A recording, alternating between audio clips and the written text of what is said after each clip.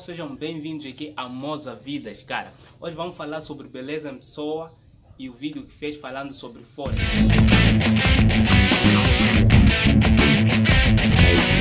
Eu quero fazer aqui uma análise daquele vídeo. Por quê? Porque eu acho que às vezes você precisa é, fazer uma análise um pouco mais justa, não apenas dependente do emocional, é, simplesmente, e não apenas dependente de geração de conteúdo, que às vezes é isso, né? É, que a gente faz e de uma certa especulação.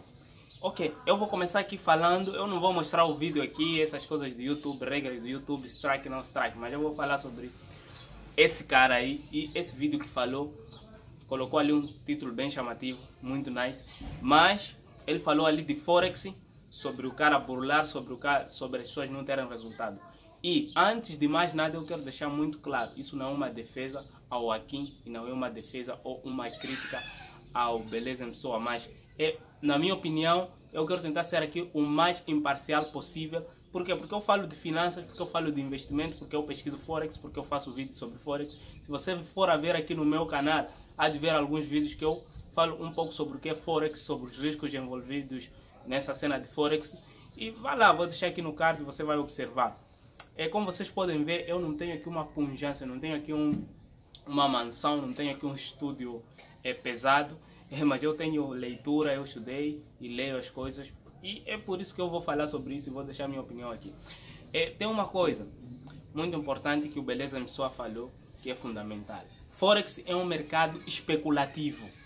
Isso ele está certo. Ok, talvez quando se fala que Forex é um mercado especulativo, você não entenda exatamente o que quer dizer. Ok, vamos lá tentar colocar em detalhe o que é uma especulação. Uma especulação é literalmente uma incerteza do que vai acontecer no futuro. Você não sabe o que vai acontecer, qual é o próximo passo. Então, no Forex você está especulando, você está querendo dizer que alguma coisa vai em uma direção. Só que aquela direção não é garantida. E como não existe a garantia de ir naquela direção, existe a probabilidade de ir na outra direção.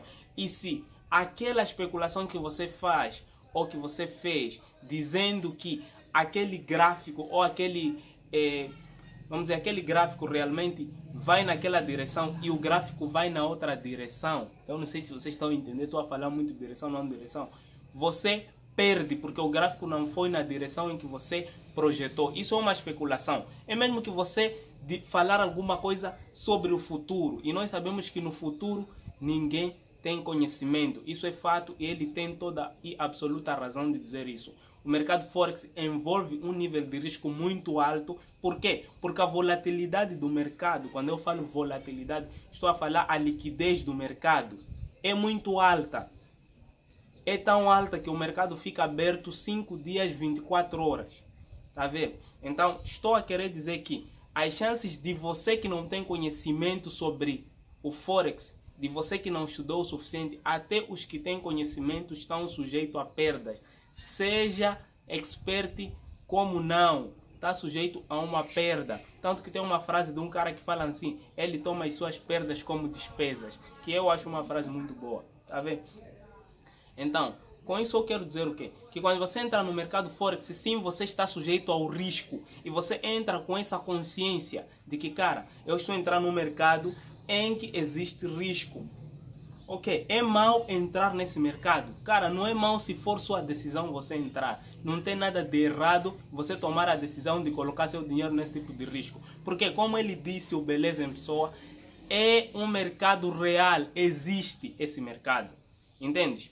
Outra coisa que você precisa perceber: esse mercado não é regulamentado pelo Estado moçambicano. Cara.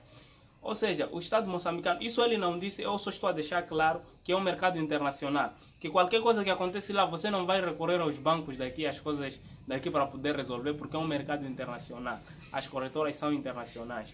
E por aí vai. Eu já falei um pouco sobre os riscos aqui e sobre, e sobre as corretoras. Outra coisa muito importante que você tem que perceber marketing. Quero falar aqui no sentido de marketing. As pessoas usam da persuasão. Na verdade, marketing não é nada mais do que eu mexer com seu emocional para você comprar um produto meu. Eu quero te convencer de algo. Se eu quero te convencer de alguma coisa, eu não te convenço racionalmente. Eu uso as tuas emoções, seja lá o que for. É assim como as igrejas trabalham, as instituições religiosas trabalham, as grandes empresas, Coca-Cola, Vodacom, eles procuram alguma coisa emocional. Por que, que você acha que existe uma publicidade, por exemplo, da Coca-Cola, que aparecem pessoas tomando coca no dia de, sei lá, na mesa? Cara, o que, que você acha que gatilho mental é que está por detrás disso? Isso é marketing, é emoção. Eles estão trabalhando com a sua emoção e não com sua razão. Por isso eles vendem. Todo marketing é assim. Agora, você nunca pode fazer uma promessa que você não é capaz de resolver. Porém, também é uma coisa muito importante que eu acho que é a barreira de muitos moçambicanos. Qual é? As pessoas, por mais que tenham algum conhecimento racional de alguma coisa, ainda assim agem emocionalmente. Por que será que as pessoas fazem isso? Porque as emoções são mais fortes que a razão, cara. Não é, não são, cara, tem um, eu, se você tiver tempo, leia o livro A Ciência para Ficar Rico ou leia o livro do Napoleão Hill que fala sobre não pense enriquece, mas as 16 lições práticas para o sucesso. Leia esse livro. Ele lá mostra os sete medos que conduzem as pessoas e como é que as pessoas são manipuláveis através disso. E eu recomendo você ler Armas da Persuasão de Robert Cialdini para você perceber como se utilizam os gatilhos mentais para vender produtos e ou para manipular as pessoas se for alguém de, que tenha más intenções. Então, com isso quero dizer o quê? As pessoas usam do conhecimento científico, do marketing e tudo para vender algum produto. Essa é a ideia.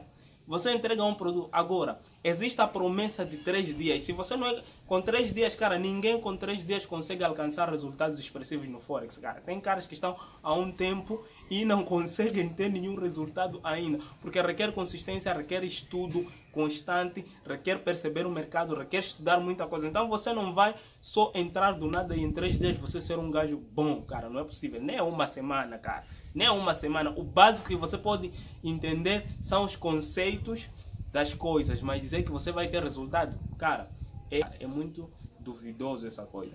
Agora, tem uma outra crítica, uma crítica que eu quero fazer aqui do Beleza em Pessoa em relação à vinculação do aqui ao Forex, cara. Aqui não representa o Forex, meus irmãos. Aqui não representa o Forex, é um mercado gigante o fato de algumas pessoas não darem certo é que o fato dele fazer promessas que fazem com que aquelas pessoas ajam de alguma forma e não tenham resultados não quer dizer que o forex que isso invalida o forex. Só quer dizer que você precisa se preparar mais, conhecer mais. Leia o livro Axiomas de Zurique. Aliás, é o melhor livro que fala sobre risco, sobre especulação e sobre investimentos que, pelo menos eu acho é, que fala sobre como você vai gerir suas emoções dentro do mercado e essas coisas. Eu falo isso porque não sou apenas uma pessoa que foi no Google e pesquisou Forex, não. Eu leio alguns livros sobre Forex, livros que são um pouco grandes, tipo 100 páginas, 150 páginas, 200 páginas.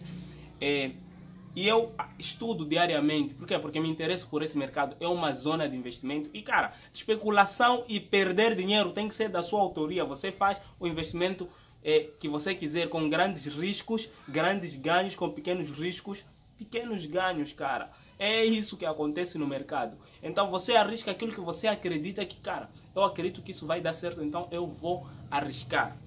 Aqui tá tudo certo.